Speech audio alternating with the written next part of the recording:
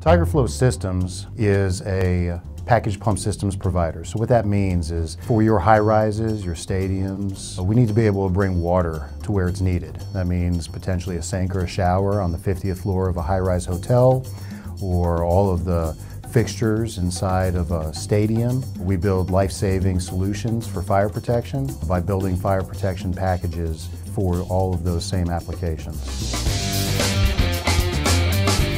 Well, since TigerFlow Systems is just over 60 employees, we have to outsource a lot of the business support solutions, such as marketing and IT. Our relationship with Cima solved three major problems for us that our former providers were unable to provide effectively.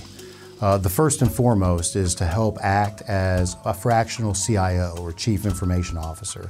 Uh, they're part of my senior executive staff and I meet with the VP of Sales and their CEO quarterly in order to review our business needs.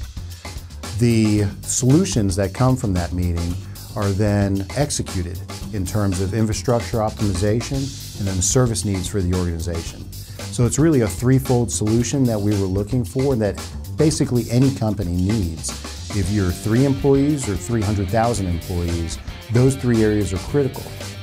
My very first business review with John and Todd was eye-opening because they sent me a preparatory email and I never bothered to open the email. It had an attachment on what they wanted to discuss. And had I bothered reading the attachment, I would have noticed that the entire attachment was basically about what TigerFlow needed as a business, not what TigerFlow needed for IT.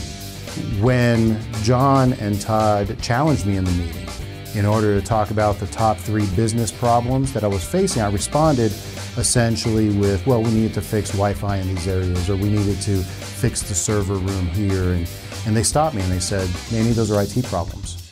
We're not here to just solve individual IT problems. We need to understand what the business reason or the business case for those issues are.